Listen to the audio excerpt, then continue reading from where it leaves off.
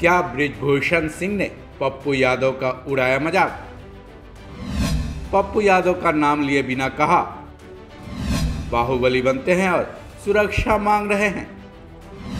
Lawrence Bishnoi की पप्पू यादव को धमकी का मामला। पप्पू यादव को लॉरेंस बिश्नोई की धमकी वाले मामले में बीजेपी ने तंज कसना शुरू कर दिया है।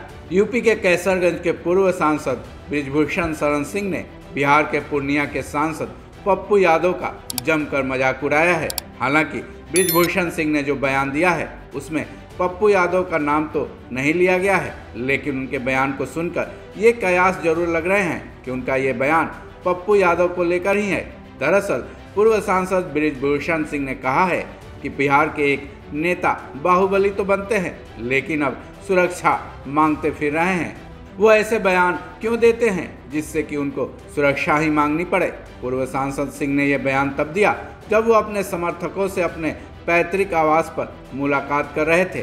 पूर्व सांसद यही नहीं रुके। उन्होंने आगे कहा कि बिहार के एक बाहुबली नेता हैं जो हर विषय पर बोलते हैं, लेकिन अब सुरक्षा मांग रहे हैं। तो फिर ऐसा बयान ही क्यों दिया था कि सुरक्षा की गुहार लगानी पड़े? आजकल जिसको भी देखो, वो टिप्पणी करने में जुट जाता है। लेकिन जब मामला गड़बड़ हो जाता है तो वो सुरक्षा मांगने लगता है। पूर्व सांसद सिंह ने सरकार से अपील भी की है कि इन सारी चीज़ों पर रोक लगनी चाहिए। ऐसे लोगों को सरकार की तरफ़ से सुरक्षा नहीं मिलनी चाहिए। साथ ही देश, समाज, धर्म और व्यक्ति विशेष पर बोलने वाले लोगों पर रोक लगनी चाहिए, क्योंकि समाज में नफरत फैलाने वालों पर रोक लगनी ज़रूरी है।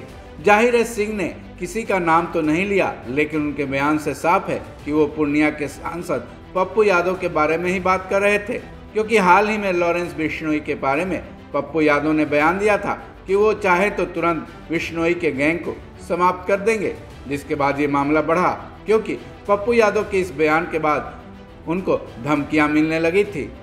लगातार मिल रही धमकियों के बाद पप्पू यादव ने जेड प्लस सुरक्षा की मांग की है।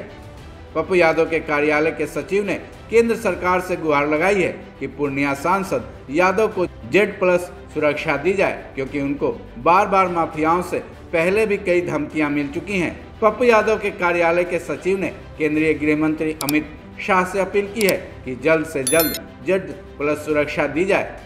अब जरा पप्पू यादव के बयान पर भी नज़र डाल लेते हैं। दरअसल, बाबा सिद्दीकी की जान ले लेने के मामले में पप्पू यादव ने बयान दिया था कि लॉरेंस बिश्नोई दो टके का क्रिमिनल है। साथ ही सांसद ने यह दावा भी कर दिया था कि अगर कानून उनको परमिशन दे तो वो महज 24 घंटे में लॉरेंस के नेटवर्क को खत्म कर देंगे।